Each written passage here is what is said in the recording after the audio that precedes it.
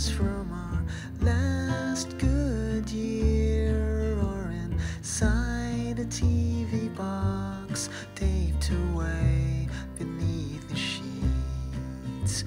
I try to veer away from every single tear and I promised I'd change how I feel and disappear.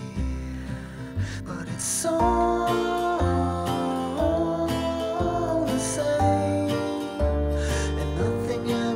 ever